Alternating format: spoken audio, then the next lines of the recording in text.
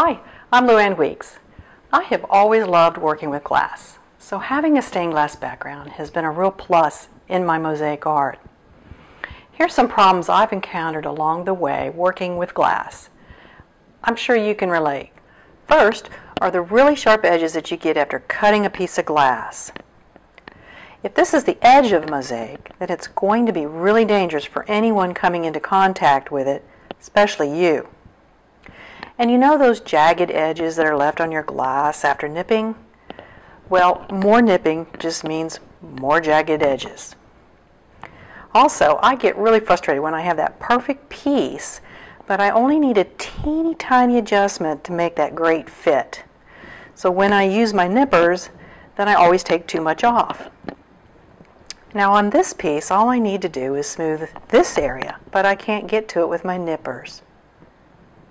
Well, I happen to have a solution to all of these problems. I want to show you a tool that I think is a must-have for mosaic artists who want to achieve a smooth finished look to their mosaic art. What I'm talking about is a glass grinder. It's a tool that I use on a regular basis. Watch while I fix these problems that I just spoke about.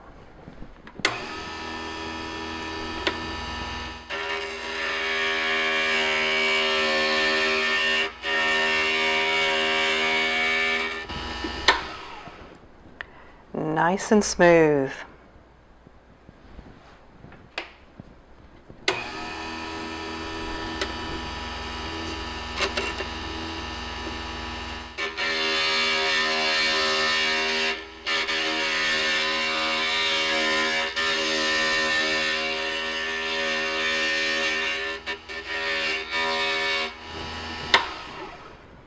All my jagged edges are gone.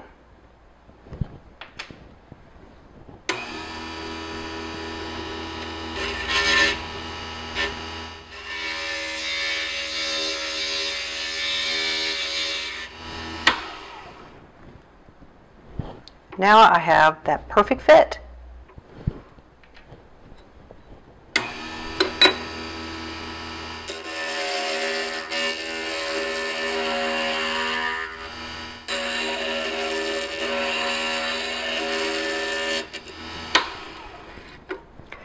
and smooth to perfection. Whenever I teach a class, I always bring a couple of grinders.